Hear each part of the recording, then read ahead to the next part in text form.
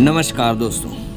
દોસ્તો, આપણા હિન્દુ ધર્મના આપણે ઘણા બધા એવા તહેવારો મનાવીએ છીએ, જેમાં દિવાળી છે, ઉત્તરાયણ છે, હોળી, ધૂળેટી છે. અને એની અંદર ઘણા બધા એવું પણ કહેતા હોય છે કે દિવાળીની ટાઈમે પ્રદૂષણનો આમ છે તેમ છે. પછી ઉત્તરાયણના ટાઈમે દોરાનું પ્રોબ્લેમ હોય છે. દોસ્તો, મેં આજે એક દ્રશ્ય જોયું જેમાં એક કબૂતર એક દોરામાં લપટાઈ ગયું છે, જે તમે જોઈ રહ્યા છો, જુઓ. એ કબૂતર દોસ્તો, ઝાઝા ટાઈમથી, ખૂબ સમયથી એના પગમાં બે દોરા બંધાઈ ગયેલા હતા અને થોડોક દોરો લાંબો હતો અને એ એક ઝાડ પર બેસવા ગયું ને એના પગ એવી રીતના લપટાઈ જાય છે દોરામાં કે ઉડી નથી શકતું.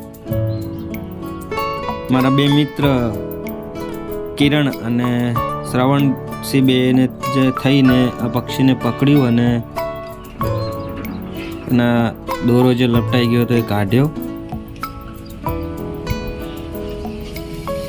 કે રીતના દોરો બહુ જાજા ટાઈમથી કદાચ ઝાડ ઉપર લપટી ગયો હશે, એના કારણે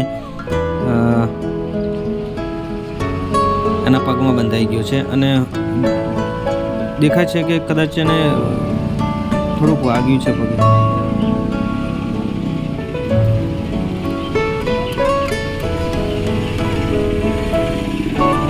આ ખાસ ધ્યાન રાખવું જોઈએ. જ્યારે તમે ઉત્તરાયણ મનાવો તો મનાઈ અને પછી એના બીજા દિવસે જે પણ દોરા ક્યાં ઝાડ પર તમને લટકતા દેખાય, તો એ દોરાને એકત્રિત કરી અને બાળવાનું રાખો તો આવા મૂંગા પક્ષીઓને નુકસાન ન થાય.